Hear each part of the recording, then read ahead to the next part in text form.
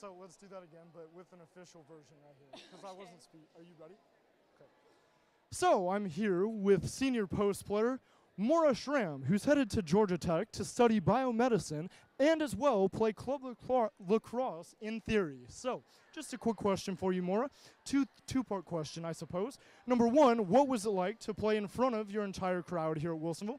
And two, what was it like to knock off the Falcons here today? It was the best feeling being able to leave this gym with a win with the people I love everywhere and it was just they're our rivals. It felt great. Yeah.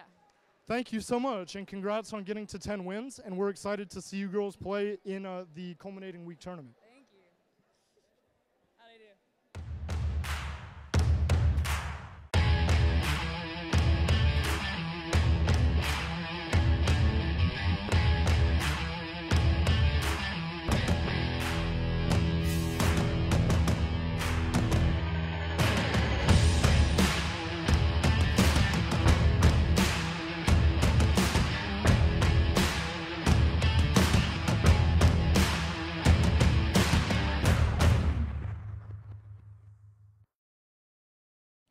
So I'm here with senior facilitating point guard Sydney Burns, who's headed to UC Davis for the next four years. And I just had a couple quick questions for you, Sid. After a great game tonight, I was curious. Number one, what was it like to play in front of such a full crowd here tonight? I mean, it was really emotional just because it got so loud and it felt like things were pretty normal again. And it's kind of like we always dream of a senior night where people are cheering and standing, and all the seniors got standing ovations, and it really meant something where it was not just t- 20 people standing, but it was the whole gym, and people, our community came out to support and really show us love. So it was really meaningful and just the best way to end on a senior night. And number two is you guys were able to dethrone the Falcons one more time. And my belief is that it's the first time they've ever been swept by a league opponent. So if you could just talk about that for a couple minutes, I think we'd appreciate that. Um, I think it's really it's really cool. It's kind of a full circle story. Last uh, our first time beating LaSalle was a um, pretty historical moment, and it was our sophomore year, and we couldn't finish it. Our uh, um, when we played them again sophomore year, and then we beat them again junior year. Couldn't finish it again th- that same year, and so it's kind of just a full circle that we're able to beat them twice this year, and especially when there's no state championship to compare it to, and we probably would have been playing LaSalle in the state championship th- this kind of year. It's kind of it's kind of like something we can prove and something we can show and point to other people that we, we made a difference and there it's it's not a banner but it's something we'll remember and it's really meaningful to have that finished. A statement game, absolutely. And thank you so much, Sydney, for everything that you've done for us, uh, not just on the floor, but off it too. Have a great uh, next four years, and congratulations. Thank you. Of course.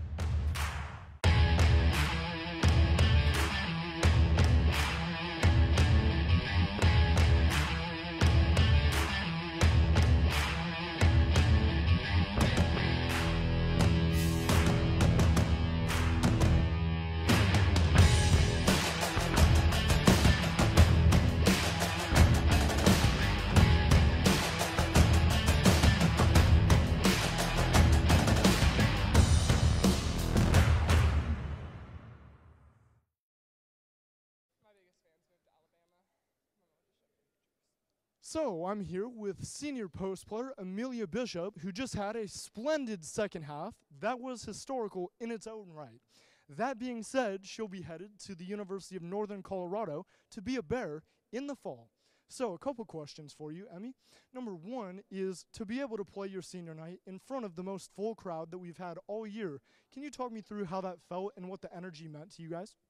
I mean, it was awesome. I it kind of reminded me of last year um, when we played them on our youth night, and we had all the gr- young girls come to our game, and in we were down by 13 points going into the fourth quarter, and with like three minutes left, we ended up coming back and winning, and it really just brought me back to that time where like we could we knew people cared about us a little bit. Like i think it's always um, a struggle being a girls program in any sport because boys get tend to get more recognition. But i think that tonight all of our hard work kind of paid off and we knew that everybody here that came wanted to be there and wanted success success for us. Um, and i mean i think it, a huge thank you to everybody that came because no matter how small the voice, it has an impact, and it lets us know that we're doing the right things to leave a legacy uh, behind at Wilsonville High School. So. And then number two, let's talk a little bit about that legacy. So it has come to my attention that it's the first time LaSalle has been beaten by a league opponent twice in the same year. And in addition, I know you and I were just talking about how you guys have another piece of history um, that has occurred against the Falcons. So if we could talk about that for a minute, I think everyone is dying to hear. Yeah, so my sophomore year, we beat them to end their 83 game winning streak, and it was the first time um, somebody had beaten them. I think we won in the brick oven, which was pretty much unheard of. Um, and they've kind of just been, we're the powerhouse. And I mean, when you have a team that's good, you have to respect them and have to know like they're going to come out and give you their best. And that's what we've also had to learn. And so we have kind of taken them as okay, this is who they were and this is what we want to be. So we have to have that respect, but also be like, okay, we need to do better. We need to become better. We need to work harder. Um, and so coming into the tournament my sophomore year when we lost to them, and then last year where we lost to them um, at in the brick oven and then beat them here on our youth night and then um, lost and then we're going to get to play against them in the same game that they had beaten us the year before in the tournament. It was kind of like I don't want to say this, but it was a little bit of a revenge game because we were like we didn't get that opportunity. And so we knew the first time we came out, it was too close for comfort and we knew we were better than them. And so this time I think it just really showed and we were all talking in the locker room like this is the best we have played together, I think, in all four years. Um, that I've gotten the chance to be a Wildcat at Wilsonville High School. So I think that was really cool and like to leave a legacy of excellence for the younger girls to be like, this is what you can be and this is what you can do and you can have so much fun while doing it. Like I think a lot of times people think hard work is scary, but the opportunity to come in and do your best and beat teams that are well respected is one of the best and most fun opportunities that I think anybody can have in their life. So, yeah. So, tough and together this Wilsonville team was on this night, more so than the Falcons. 62 44 is the final, and Wilsonville takes the season series. Thank you so much, and uh, congratulations. Thank you. Thanks, you. Thanks, everyone. Tune into our podcast. Do that, definitely.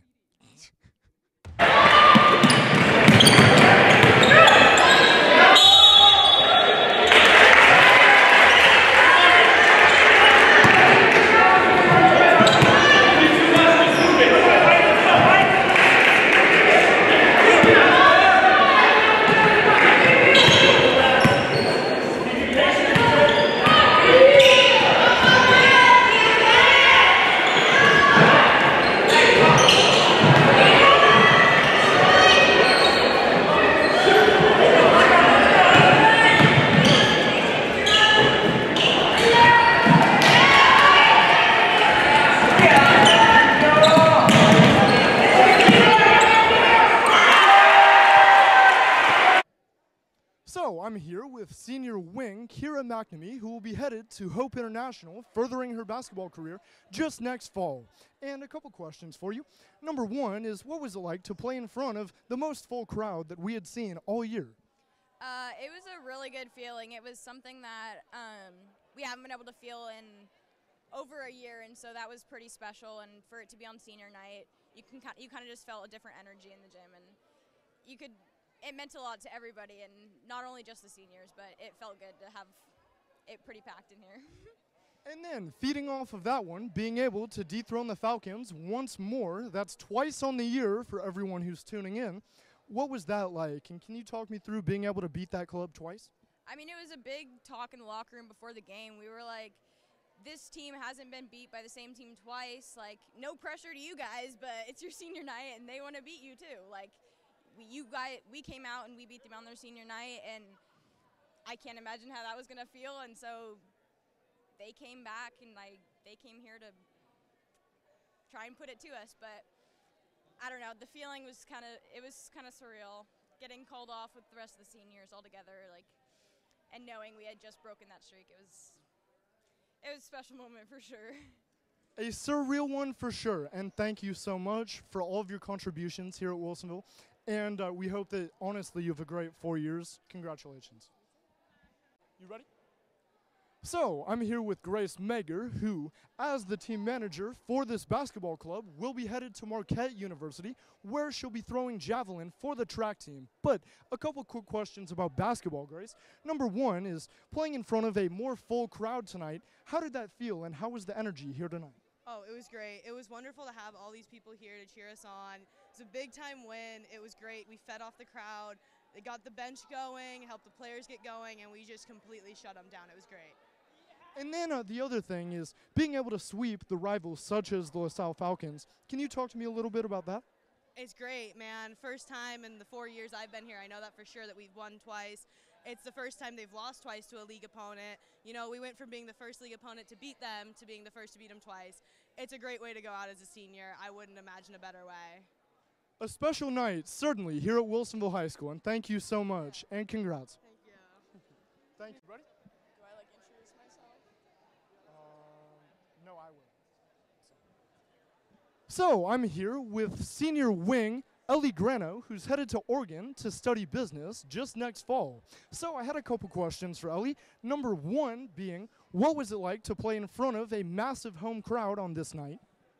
Um, I just like think that we're honestly so lucky and like me I know me and my team are so grateful to be able to like actually have like a last home game, like a real like I don't really know, but it's just like it's it's so nice and I don't think it would have been it obviously wouldn't have been the same if we were empty stands. So, I mean, I we're all just so grateful for it and we're so lucky.